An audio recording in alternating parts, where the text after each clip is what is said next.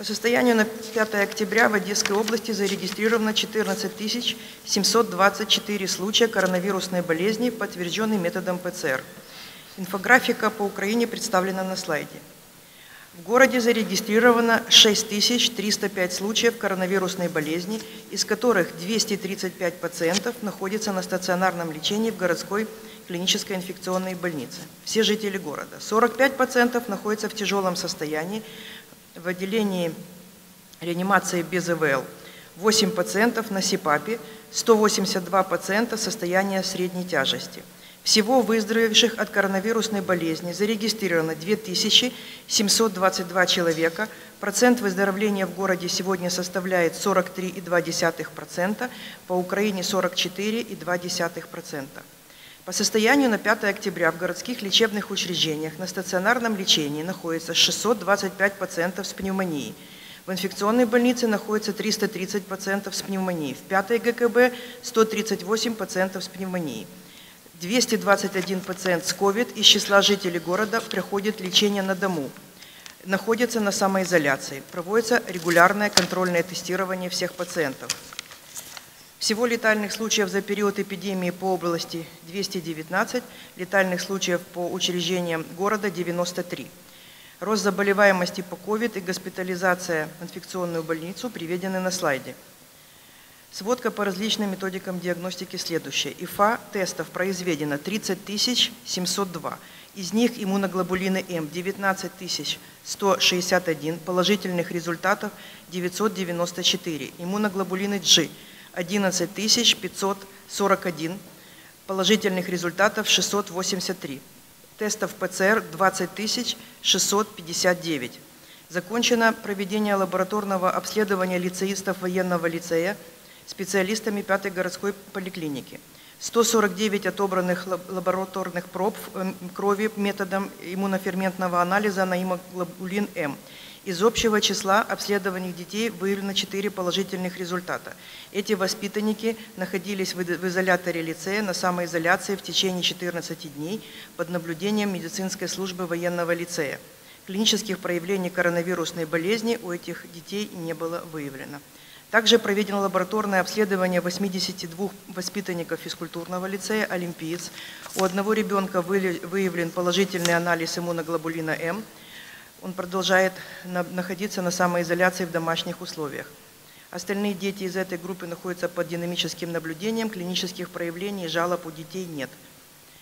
Тестирование студентов продолжается. Протестировано 6 тысяч студентов. В городских лечебных учреждениях Медицинская помощь больным с COVID оказывается городской клинической инфекционной больнице, городской больнице номер 5 на Лидерсовском бульваре, родильном доме номер 2, детской городской клинической больнице номер 3. И с 1.10 открыто отделение на 30 коек в городской клинической больнице номер 1. В инфекционной больнице развернуто дополнительно за этот период 6 реанимационных коек, в боксированном отделении 10, поскольку очень много тяжелых больных и дополнительно развернуто 10 коек в ГКБ номер 5.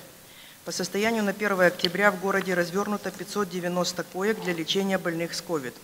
Ведутся работы по подбору кадров для разворачивания дополнительных коек, предполагаемых для лечения COVID-19. В настоящее время в больнице города Одессы организовано 189 коек с подключением к системе централизованного кислородообеспечения.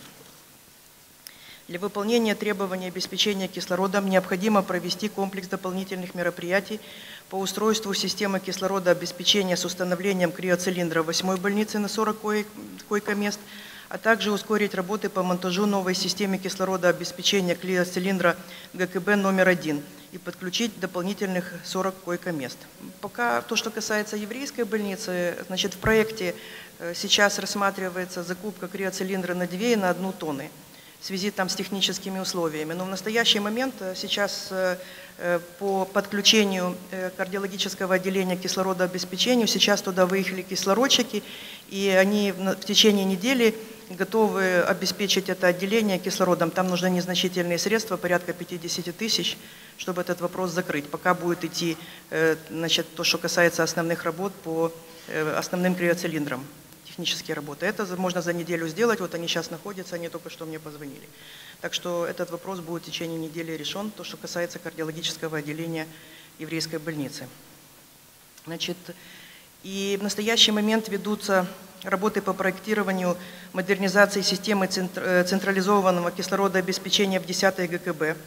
Э, в 10 ГКБ начнет прием больных с COVID 8-9 э, числа. В настоящий момент ведутся подготовительные работы, инструктажи, разделение на зоны. Значит, это будет открыто 60 коек плюс 15 реанимационных. То есть мы действуем согласно плану городского штаба по обеспечению больных стационарным лечением. В связи с возможным прекращением поставок жидкого и газообразного кислорода для нужд учреждений здравоохранения Одессы со стороны снабжающей организации Департамент здравоохранения были проведены предварительные переговоры с производителем предприятием «Линзе Газ» Украины по поставке кислорода, исходя из расчета общего потребления больниц города Одессы, и мы получили положительный ответ – в родильном доме номер два размещаются беременные женщины с подозрением на COVID-19. Подтвержденный COVID у четырех пациенток, три жительницы Одессы, одна жительница области.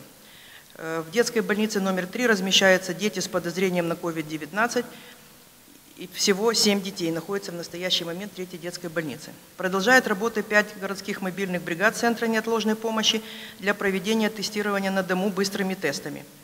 Бригадами за весь период проведено 8206 тестирований на COVID-19. За последнюю неделю э, ПЦР-тестов 294.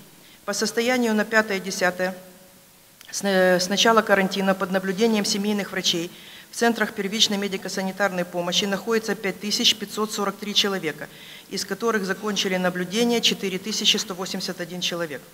По состоянию на 5 октября материальную помощь получили 58 медицинских работников, переболевших COVID-19, и семья одного умершего доктора. Значит, 10 тысяч гривен по решению сессии городского совета. Э, в городских лечебных учреждениях на территории города заболело 167 медицинских работников. После выздоровления документы будут направлены в отношении остальных сотрудников. Продолжается работа по оздоровлению медицинских работников, переболевших COVID-19.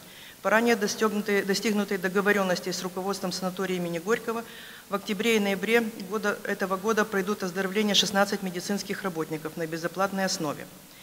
Пятницу 2 октября было проведено аппаратное совещание в онлайн-режиме с учреждениями первого уровня по совершенствованию работы с COVID-19 и реализации обновленных стандартов оказания медицинской помощи по приказу от 17.09.2020 года. Спасибо за внимание.